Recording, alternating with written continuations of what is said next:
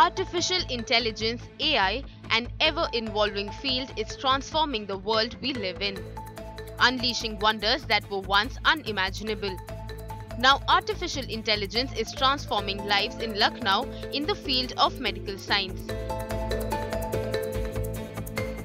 This is an ortho robo performing a knee replacement surgery, all made possible courtesy AI.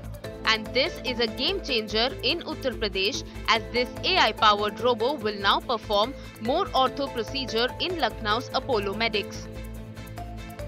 This is a most advanced active robotic system active means कि हम इसमें surgical planning करते हैं और वो surgical planning surgeon अपने experience के हिसाब से पेशेंट की बॉडी के हिसाब से करता है तब उस सॉफ्टवेयर को सेव करके और रोबोट में कनेक्ट कर दिया जाता है so how does this work? All the information is fed into the robo and then it works on its own, performing the surgery directly.